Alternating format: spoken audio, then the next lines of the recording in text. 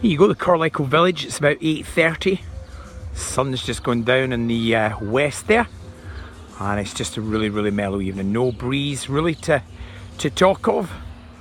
And it's all very, very quiet. Can hear the doves and the, the pigeons making a wee bit of noise in the background again there. But it's all really lovely. Pools like a mill pond there. I've been playing water polo every day and I'm sure the heaters are still on because the water's extremely warm. Anyway, there you go, just giving another wee look at the place because I know you guys kind of miss it. We'll talk to y'all soon enough, folks.